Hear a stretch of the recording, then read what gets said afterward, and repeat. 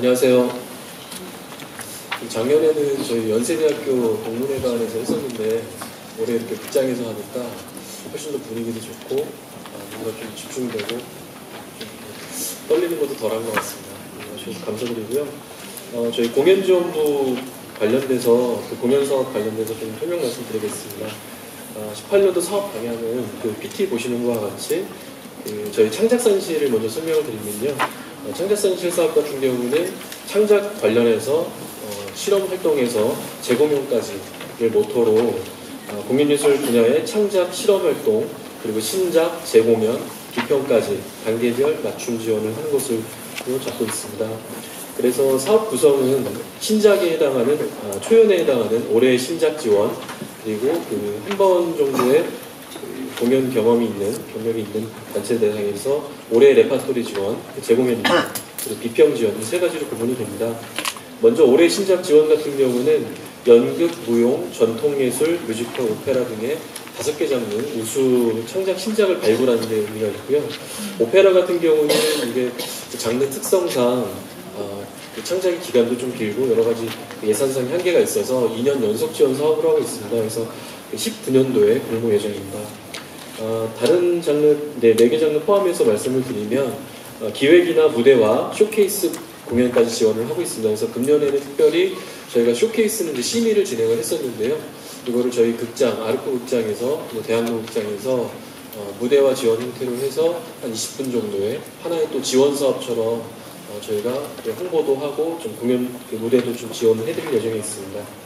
그래서 모토는 창작자는 그 창작에만 전념하실 수 있게 제작비 지원뿐만 아니라 극장, 무대 스텝, 그리고 관객 개발 홍보에 대한 모든 그 통합 지원을 하는 것으로 하고 있습니다. 그래서 대상은 올해 신작은 당연하게 그 공연되지 않은 창작 작품이고요.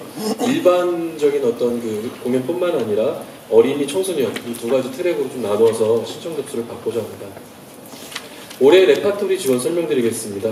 재공연 지원 사업인데요. 이 재공연 지원 사업 같은 경우는 그 신작이나 그런 사장되지 않, 사장될 우려가 있는 그런 작품에 대해서 레파토리로, 레파토리로 자리매김을 위한 그런 제작비 지원입니다. 어, 그래서 대상은 18년 3월부터 19년 2월 이내에 공연이 가능한 단체로 대상이 되어 있습니다. 마지막으로 비평 지원입니다. 비평 지원은 전문지 발간 지원, 그리고 비평 연구 및 학술 행사 지원, 그리고 온라인상의 디지털 비평 활동 지원 이 세 가지 트랙으로 구성되어 있습니다. 그래서 월간일 경우에는 최대 5천만 원, 비월간 사업일 경우에는 최대 2천만 원까지 지원을 하고요. 대상은 간행물 단체 및 개인 출판사 되어 있습니다. 특이사항을 말씀드리면 저희가 지원 전체적인 그 제외 대상에 그 언론사나 언론사 소속 단체는 제외로 되어 있습니다만 이 사업에 대해서는 그 사업 취지 자체가 공연예술 담론 형성을 위해서 어, 하는 사업이니만큼 언론 분야에 관련된 법령 에 언론사나 언론 소속 단체로 포함되는 단체일지라도 어, 공연예술 단체, 공연예술 분야에 기여하는 그런 담론 형성의 사업이면 신청이 가능한 사업으로 설명드리겠습니다. 네, 다음 페이지입니다. 예, 그 금년에 새롭게 시작한 사업인데요. 그 18년도에도 계속 지, 이어서 진행할 예정입니다. 그래서 신진 예술가의 창작 실험 활동 지원 사업입니다. 이게 그 연령별 어떤 신진뿐만 아니라 기존의 다른 분야 혹은 뭐 폴포츠처럼 다른 그 업종에서 계셔도 언제든지 신청하실 수 있게 새롭게 좀 문호를 개방한 사업이 되겠습니다. 그래서 내용은 창작 아이디어의 그런 무대화 지원, 사전 연구, 기획 심화, 워크숍, 리서치 등에 대한 사업이 다 가능하고요. 어, 저희 창작산실 지원 사업이 완성된 공연에 대한 지원 사업이라고 보면 이 본 사업은 그 지원 과정에 대한 노력, 그것에 대한 계획, 계획 이것에 대한 지원으로 보시면 되겠습니다.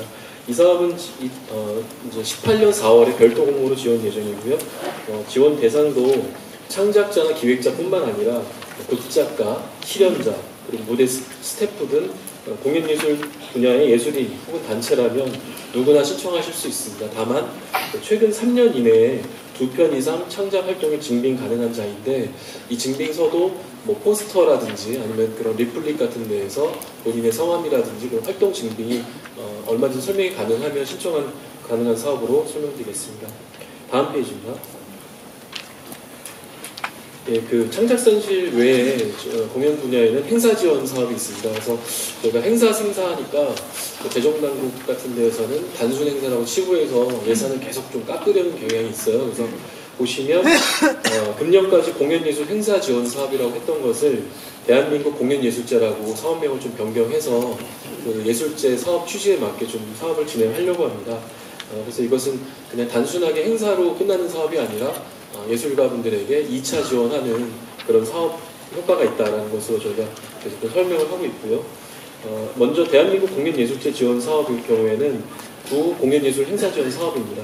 그래서 본 사업은 공연예술제를 주관하는 민간단체에서 직접 신청을 하시는데 사업 내용은 공연예술제의 어떤 수준을 좀 높이면서 그러면서도 일반 국민이 자연스럽게 그 공연을 좀 보실 수 있는 그런 축제 형식의 예술제 그리고 장르별 혹은 장, 통합적인 장르 예술의 새로운 해석을 통해서 예술적 가치를 좀 더 높이는 데 기여하는 그런 예술제로 되어 있습니다.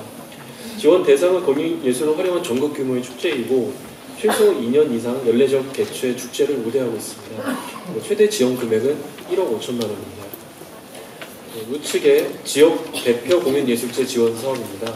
어, 지역 대표 공, 어, 대한민국 공연예술제 지원 사업이 전국 단위의 공연예술제 지원 사업이라면 지역 대표 공연예술제 지원 사업의 경우에는 지역을 거점으로 하는 그런 차별화된 지역별 특화 예술제라고 보시면 되겠습니다. 그래서 신청 자체, 신청을 어, 공연예술제를 주관하는 민간단체가 아니라 광역자치단체가 선정해서 추천하는 예술제, 그래서 광역지자체에서 신청하게 되어 있습니다. 그래서 마찬가지로 대상은 지역 거점에 특성화된 공연예술제이고요. 최근 3년간 연례적 개최 실적이 있는 행사로 최대 5억 5천만 원까지 신청이 가능합니다. 그래서 신청하실 때 사업 내용에 그 지역에 대해 얼마나 기여하는지 해당 장르의 기여를 통해서 그 지역이 얼마나 활성화되는지를 좀 주안적으로 작성해 주시면 좋을 것 같습니다. 네, 다음 페이지입니다. 네, 마지막으로 그 공연예술 분야의 대표적인 어떤 안정적 창작 기반을 조성하는 지원 사업입니다. 어, 기존에 그 금년에 보건 사업 형태로 취업기금 형태로 한그 공연예술 특성화 극장 운영 지원 사업인데요. 어, 내년에는 저희 문화예술 진흥기금에 편입이 돼서 대관료 지원 사업과 두 가지가 같이 진행이 됩니다. 잘 아시는 것처럼 그 공연예술 특성화 극장 운영 지원 같은 경우는 민간, 민간이 운영하는 기초 공연예술, 연극, 무용, 음악, 전통예술의 그 공간, 공연장을 지원하는 사업입니다.